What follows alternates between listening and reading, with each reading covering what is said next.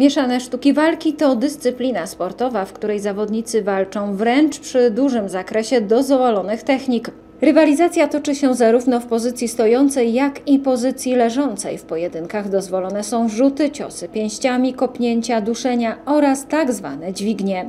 W treningu praktykuje się tak zwany trening przekrojowy, przygotowujący zawodnika do walki zarówno w stójce, parterze oraz w zwarciu.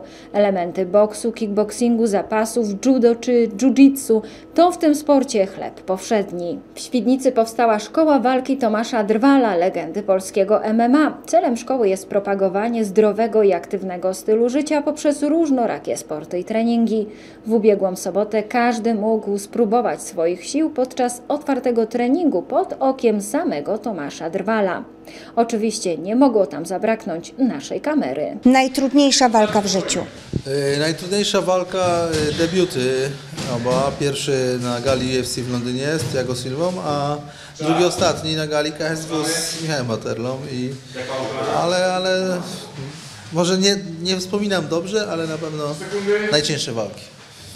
Ten debiut w Londynie był najgorszy pod względem w sumie psychicznym, bo to jest, e, bo to była organizacja tak naprawdę takie marzenie, które się spełniło i nagle to, co widzieliśmy, to, co widzieliśmy, to, co widziałem w telewizji, to, to co, gdzie zawsze chciałem być, y, do czego dążyłem, nagle się spełniło i, i no taka można powiedzieć trema, no nie, która mnie troszeczkę zabiła.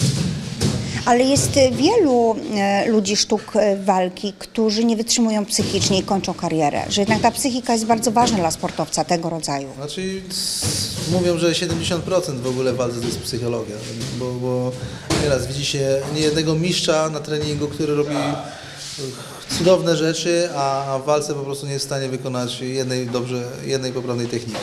I to jest naprawdę, coś w tym jest, nie? Że, jednak, że, trzeba mieć głowy do tego, ten spokój, ale to też się da wytrenować, i to przychodzi też z czasem. Trema? To się nazywa trema u Was? Yy, można tak to nazwać. No jest tak- Strach. Nie, znaczy to jest, można powiedzieć, oba czynniki, ale strach zawsze jest, natomiast jest to taki strach, który, e, strach kontrolowany. No nie? Jak ktoś mówi, że się nie boi, to znaczy, że faktycznie jest coś z głową, natomiast ten strach nie może nas właśnie e, jak gdyby poblokować. No nie? I, I to też jest związane z tym, że zwłaszcza jak ktoś e, też nie jest obyty e, z mediami, właśnie z kamerą, z telewizją i tak dalej, e, bo co innego jest walczyć, co innego jest też nakręcać tą walkę, no nie? Właśnie mówić, pokazać tą pewność siebie i tak dalej. I z tym początkujący zawodnik ma zawsze problem, no bo, bo tego wcześniej nie robił. No nie? O ile jeszcze gdzieś tam walczył amatorsko, gdzieś tam dochodził, ma takie doświadczenie, to z tym nie ma tego doświadczenia i to też jest taki czynnik, który nie pomaga w debiutom. Rozważał Pan powrót do UFC? To znaczy, no na chwilę obecną y, jestem związany y, z, jakby z może, kontraktem jestem związany z KSW. y, No i tutaj muszę wypełnić kilka swoich misji, a później zobaczymy. A wymarzona walka to jaka? Myślę, że wszystkich zawodników wymarzone walki to są walki e, o mistrzowskie, o pas, bo, no bo każdy z nas dąży do tego, żeby jednak osiągnąć ten poziom mistrzowski, a kończy się to tym, że się zdobywa pas i jest, jest się tym mistrzem danej kategorii ostatecznie. Stworzył Pan szkołę sztuki walki. Dlaczego młodzi ludzie, a może i nawet nie młodzi, mieliby przychodzić do tych szkół uczyć się walki?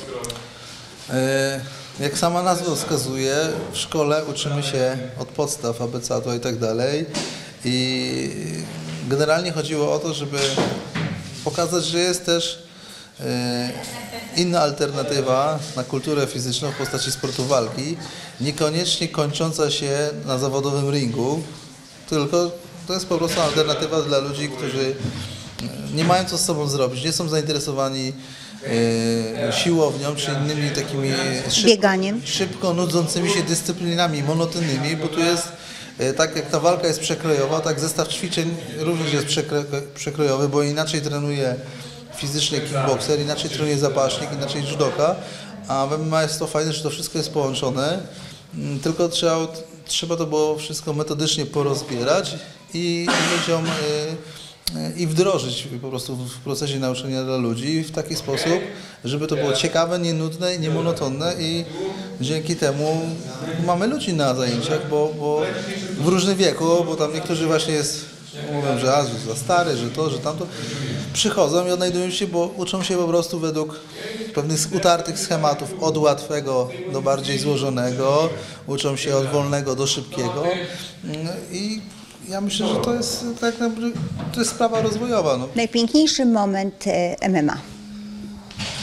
Najpiękniejszy moment to jest zawsze jak jest ręka w górze, jak jest zwycięstwo i wtedy schodzi całe to ciśnienie, jest taka ulga, spełnienie i to są, to po prostu trzeba przeżyć, nie? tego się nie da opisać. Tomasz Drwal, zanim zaczął profesjonalną karierę w MMA, był ochroniarzem oraz instruktorem samoobrony i pływania. Trenował karate, kickboxing i brazylijskie jiu-jitsu.